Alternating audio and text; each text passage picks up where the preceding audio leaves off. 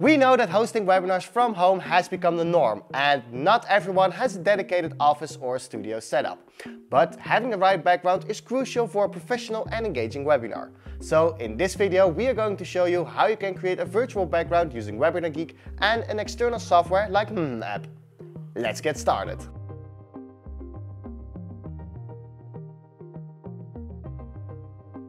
Before we start, let me explain what a virtual background is. A virtual background uses the same chroma key technology used with a green screen.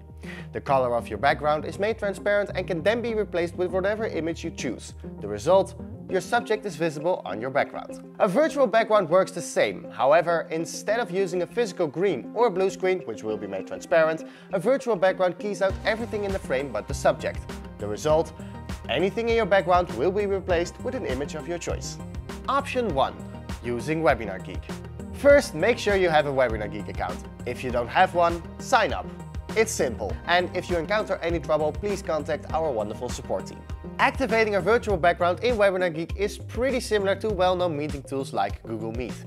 If you are in a preview or live environment, look for the sparkles icon. Clicking this icon will open up a menu where you can choose between a blurred background or an image.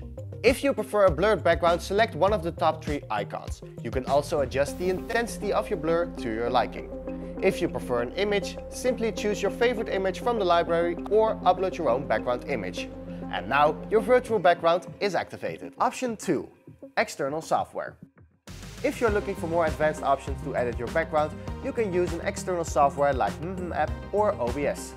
But you can also use hardware like the Blackmagic ATEM Mini Pro for physical green screen setup. Simply set up your virtual background in your preferred software or hardware. Open the Webinar Geek app and start your live webinar via the Open Live Webinar button. Head over to Settings and choose the name of the software you are using as a camera input. Right now, your virtual background will be shown in the Webinar Geek environment. And there you have it, creating captivating virtual backgrounds. Whether you are using Webinar Geek's built-in features or go the extra mile with a different tool, you are sure to impress your audience with a professional setup.